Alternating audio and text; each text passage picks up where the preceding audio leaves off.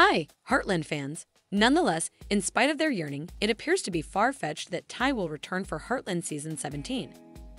The actor's decision to move on from the role and the plot of T's death suggest that he won't be back in subsequent seasons. We should investigate the purposes for this choice and the potential effect it might have on the show. First and foremost, it is essential to acknowledge the actor's point of view. Graham Wardle, who played Ty Borden, said that he thought it was time to change his course.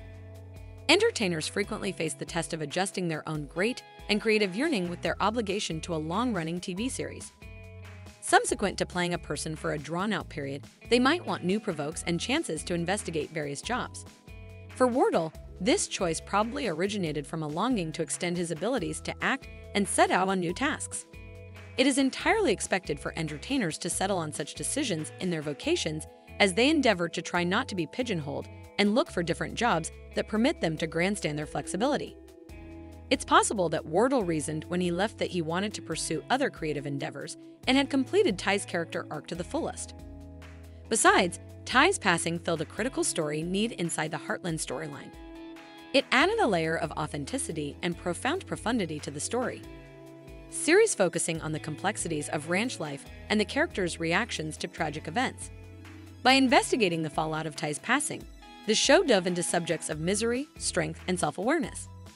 While Ty's passing was without a doubt decimating for fans, it likewise permitted different characters to go through significant turn of events and investigate new storylines.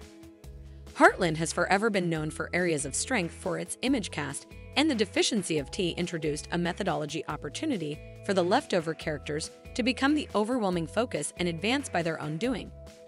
It gave us a chance to learn more about the characters' individual journeys and strengthen our bonds with them.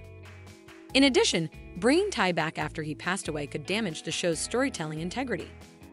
Heartland has consistently presented narratives that are relatable and realistic, focusing on the difficulties and triumphs of ranch life. It would be a significant departure from the show's commitment to authenticity and believability to revive a character that has already been established as deceased. While fans may long to see Ty's compose, regarding the imaginative choice of the show's makers and actors is significant. Personal development, creative exploration, and the desire to tell compelling and authentic stories all influence their choices. The show's ability to elicit genuine emotions and capture the essence of rural life has a dedicated following that appreciates it. So the probability of Ty's return for Heartland Season 17 seems thin. The show's commitment to realism, Graham Wardle's decision to move on from the character, and the narrative significance of T's death all point to a future without Ty Borden. While fans might grieve his non-attendance, confiding in the imaginative decisions of the show's makers and embrace the new headings and storylines that arose in his absence is fundamental. Season 17 of Heartland promises to continue this tradition despite Ty's absence. The show has a history of telling compelling stories that are both moving and moving people. Remember to raise a ruckus around town button and turn on notice for our channel. Like that, you won't ever miss another video and be among quick to know when we post. We're continuously posting new information and we don't believe that you should pass up a great opportunity.